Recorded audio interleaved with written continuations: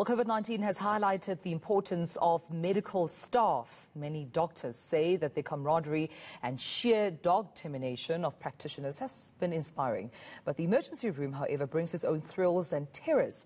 Dr. Anne Biccard has been an emergency doctor in Johannesburg for over three decades now, and she's compiled her experiences, sometimes scary, sometimes downright hilarious, into a book titled Saving a Stranger's Life. Well, the good doctor and now author joins us live for this discussion. Dr. Anne, good to have you. I mean, I, I suppose we do get stories, right, um, about medical doctors during this time and the horrors and the terrors, but you have encapsulated your whole experiences um, in this book. I mean, what do we find from what you've archived? I think it's been a very tough time for a lot of the doctors, but we've stood together, the nursing staff, a lot of the other medical personnel.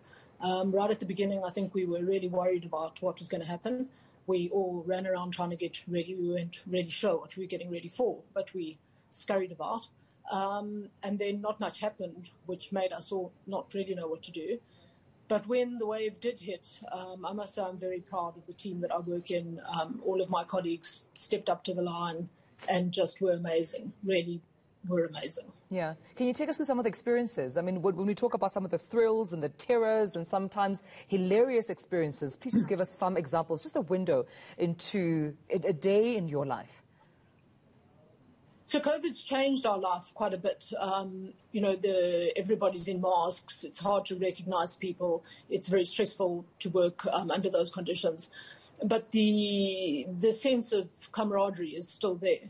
Um, and now that we're less under lockdown, we're seeing more of the things that we've always seen in the ED, which is things like people falling off the roof or crashing their bicycles or having heart attacks or having any one of the hundreds of thousands of reasons that people can arrive at the ED. Um, and some of those can be funny. Um, some of them, as you say, can be can be really tragic.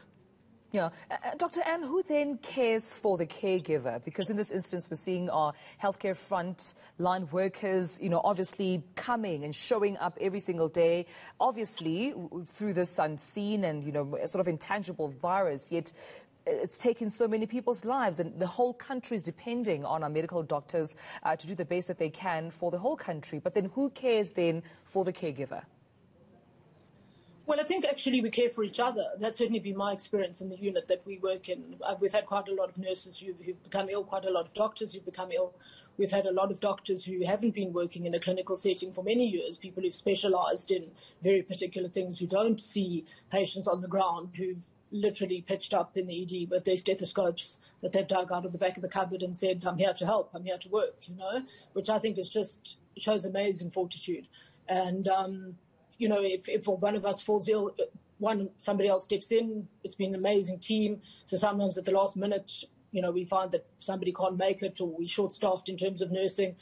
But I think we've done a good job of trying to look after each other, look out for each other, and appreciate each other. I'd say we've, we've really come a long way in terms of respect. It's there have been some very good things that have come out of COVID. Yeah, and I know that at times it's easy to also blame the health system and say it's not doing enough, it's not doing the best that it should be. There's so many people dying. I suppose my question is through this book, what are you trying to also demystify? What are you trying to highlight so people are more sensitized and they understand exactly uh, what happens in the ER, especially with what doctors are going through? Yeah, I, I think uh, as an overall, the health system in South Africa has done unbelievably well. I mean, we have an advantage in that we're following on three months behind a lot of the other countries. So what we see went wrong there and what we see we could do better at.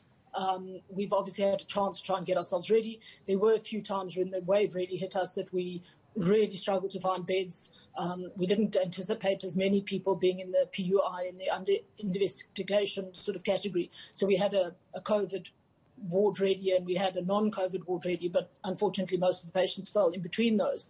But the, the physicians advisory board in the hospitals were really quick to rectify that and get it sorted. Mm. So I, I, think that the message that I, I, I would say is that I'm very proud of how South Africa has dealt with everything so far.